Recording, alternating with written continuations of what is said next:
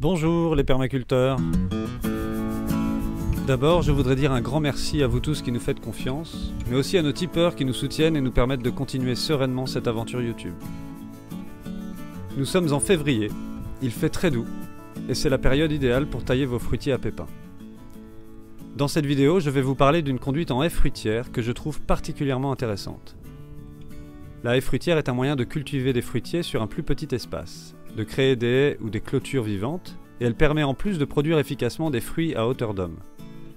J'ai donc choisi de vous parler de la méthode Boucher-Thomas. Il s'agit d'une conduite particulièrement adaptée aux poiriers et aux pommiers, originale, efficace et surtout écologique. Pour la petite histoire, j'avais déjà entendu parler de cette technique il y a quelques années en lisant le traité d'arboriculture fruitière de Louis André. Celui-ci en disait du bien tout en évoquant un potentiel épuisement des arbres. Puis, un jour, mon voisin, connaissant mon intérêt pour le sujet, vient me voir et me tend un vieux bouquin bleu datant des années 50, avec écrit en gros sur sa couverture tissée La méthode Boucher-Thomas. J'ai donc avalé le livre dans la soirée et je n'ai depuis cessé de voir des exemples de cette méthode un peu partout lors de mes déplacements. J'ai donc vu à plusieurs reprises des pommiers de plus de 30 ans produisant encore des quantités énormes de fruits, que ce soit dans le Poitou ou encore en Vendée récemment. Et j'ai même pu constater des greffes naturelles entre les arbres aux endroits où les branches se croisent. Cela signifie que non seulement ces arbres ne semblent pas fatigués par cette méthode, mais qu'ils tissent des liens incroyables entre eux permettant d'augmenter leur résilience et leur résistance. Les trois particularités de cette technique sont l'affranchissement de la greffe, c'est-à-dire que l'arbre est sur ses propres racines et devient ainsi plus résistant, l'inclinaison des charpentières à 30 degrés, ceci afin d'induire une fructification naturelle, et le respect de la dominance apicale, ce qui préserve son rôle de régulateur hormonal et qui équilibre le développement de l'arbre. Edmond Boucher-Thomas appelait cet œil terminal l'œil prodigieux. En bref, l'affranchissement, réalisé par un enterrement de la greffe lors de la plantation, rend ces arbres plus vigoureux et moins sensibles aux maladies, aux attaques de pucerons, et ses fruits se gardent mieux et sont de meilleure qualité. En plus de cela, cela assure au fruitier sa pureté variétale, non influencée par le porte-greffe.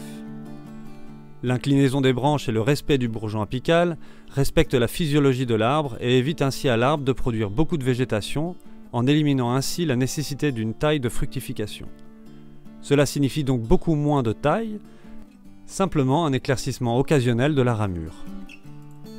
Cette méthode m'est donc apparue comme la solution idéale pour réaliser des haies fruitières. Mais on peut aussi lui trouver de nombreux autres avantages.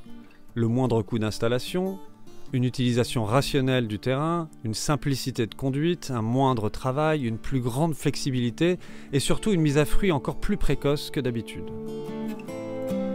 Alors comment s'y prend-on?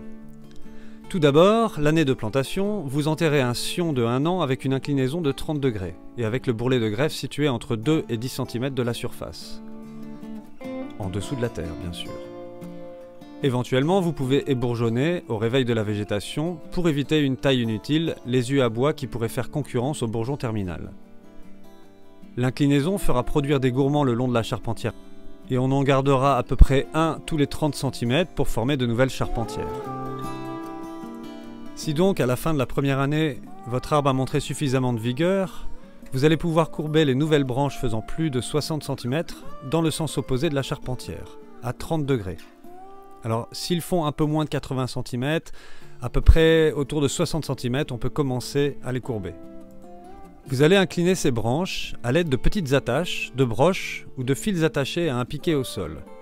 J'utilise pour ma part soit des ficelles attachées à des piquets, soit du fil de fer épais qui fait de très bonnes broches. Boucher Thomas, lui, récoltait des branches de bois avec une intersection en forme de 1, ce qui lui permettait d'attraper la branche avec la branche du 1 et d'enfoncer le piquet dans le sol. Dès la deuxième année, vous aurez probablement des fruits sur les obliques. Nous allons garder toute la végétation pour utiliser la vigueur naturelle de l'arbre, mais nous allons arquer toutes les branches verticales de plus de 60 cm. Nous n'éclaircirons que les gourmands en surnombre, une fois que nous avons gardé ceux que l'on incline tous les 30 cm, et vous pouvez garder toutes les petites branches. S'il arrive un accident à votre bourgeon terminal, vous pouvez lui trouver un successeur parmi les nouveaux gourmands. C'est à peu près tout ce qu'il faut savoir. Vous aurez maintenant compris comment structurer votre arbre et comment le maintenir dans sa forme originale. Sachez que la taille de rajeunissement, potentiellement utile après 20 ou 25 ans, peut s'avérer très utile si vous n'êtes pas satisfait de votre travail. Il suffit ainsi de recouper le sujet à 10-15 cm au-dessus du sol et de repartir sur de bonnes bases. Petit rappel, toutes les variétés de pommiers ou de poiriers ne se comportent pas tout à fait de la même façon, mais les principes restent les mêmes. Certains sont plus vigoureux que d'autres. Pour ma part, et c'est pour cela que je vous parle de cette méthode, j'ai remarqué sur mes poiriers que ceux en boucher Thomas se comportaient beaucoup mieux que leurs équivalents plantés normalement. Ils n'ont vraiment pas fière allure les premières années dans nos sols lourds. J'ai remarqué aussi, lors de recépage accidentel, que les poiriers greffés se portent beaucoup mieux après un recépage au-dessus de la greffe. Un recépage, c'est-à-dire qu'on recoupe l'arbre juste au-dessus de la greffe. J'ai donc remarqué qu'ils étaient plus beaux et vigoureux juste après cette coupe. A priori, mais ce n'est qu'une hypothèse, je dirais que cela leur permet de rééquilibrer leur charpente avec leur système racinaire, car le cognacier est un porte-greffe peu vigoureux. C'est d'autant plus flagrant sur les vieux poiriers, car on peut voir un porte-greffe tout chétif et un arbre dont le tronc fait deux fois le diamètre de son porte-greffe. C'est assez étrange d'ailleurs. Cela donne encore une raison supplémentaire d'adopter cette conduite, au moins pour les poiriers greffés sur cognacier en sol argileux. On ne peut évidemment pas comparer cette conduite avec un poirier greffé sur franc qui fera un arbre gigantesque, très robuste, mais qui ne mettra à fruit que 7 à 10 ans plus tard. On note aussi que l'affranchissement peut être une technique réutilisable par ailleurs. Il semblerait que si votre arbre est greffé sur un porte-greffe peu vigoureux, l'affranchissement est plus facile. Donc pour les poiriers, vous pourrez prendre un porte-greffe euh, cognacier, et puis pour les pommiers, vous pourrez choisir un M9. Ici, vous pouvez utiliser cette technique pour faire des clôtures vivantes et productives, pour installer des fruitiers où vous n'en auriez peut-être pas installé autrement, mais aussi comme stratégie efficace de production si vous n'avez pas beaucoup de place. Cette méthode n'est plus utilisée dans les vergers professionnels qui sont passés presque tous à la conduite en axe avec Arcure, probablement parce que la trop grande vigueur leur posait problème. Pour ma part, je n'ai que 4 ans de recul et je suis assez convaincu par les résultats. En effet, j'ai eu des fruits dès la première année et en plus grand nombre que sur mes autres poiriers. J'ai malheureusement arqué des branches alors qu'elles étaient encore trop petites, restreignant la taille de l'arbre.